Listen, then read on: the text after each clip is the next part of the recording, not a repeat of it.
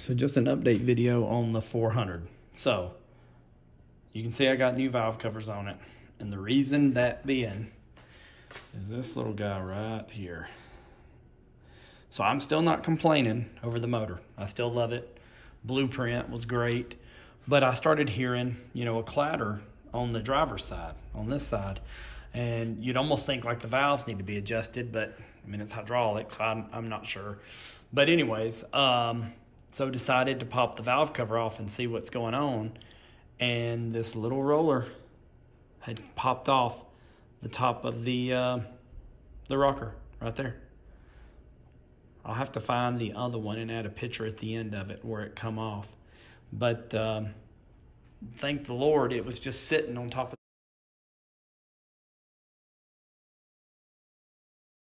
the head. It never made it down to the motor. But with that being said, you're like, well, what do you do at this point? So went to a mechanic shop in town. Uh, they checked the thrust on the crank. They cut open the oil filter, checked the oil pan. Everything, again, was clean. Um, so at that point, Blueprint just took over and they sent out a whole new set of roller rockers. So we replaced all of them on both sides. Um, everything's good now.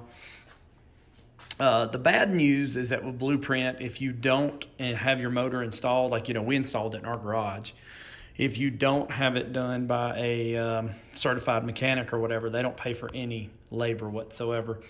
So that costs a little bit of money. Um, if I could do it all over again, what I should have done when I realized this had happened, I could have, I wouldn't have been able to check the, the thrust or whatever. I don't know how to do that. Um, but I could have cut open the oil filter. I could have taken off the oil, you know, drained the oil, looked in the oil pan. I could have done all that and saved some money. I just, I thought maybe they cover some of it under the warranty, but they don't. So, you know, I was responsible for, for paying for all of that.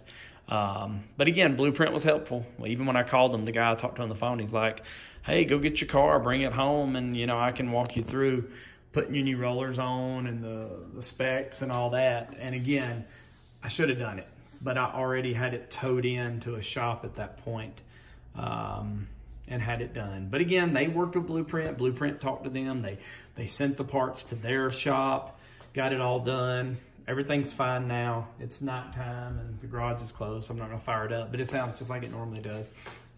Everything's good. I just need to get underneath here and clean it some, wash the car, I'm going to take it this week and get the AC charged. I had toyed around about potentially pulling off this uh, factory air and doing vintage air, you know, and putting on that black delete plate.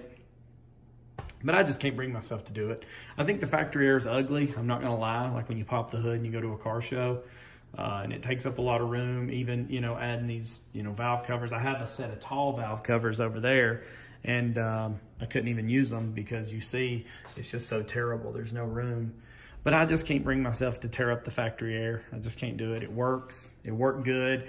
Uh, it leaked out whenever we put the new motor in, so I don't know if it was just the twisting around with the uh, compressor and everything, or if it's got a leak in it. This time, though, they're going to run the dial. They'll do all that stuff and try to find it at, uh, well, called Max Radiator Shop. But anyways, they'll they'll do that. So I'm gonna just have it charged and and then again, Lord willing, just drive it this summer, have fun.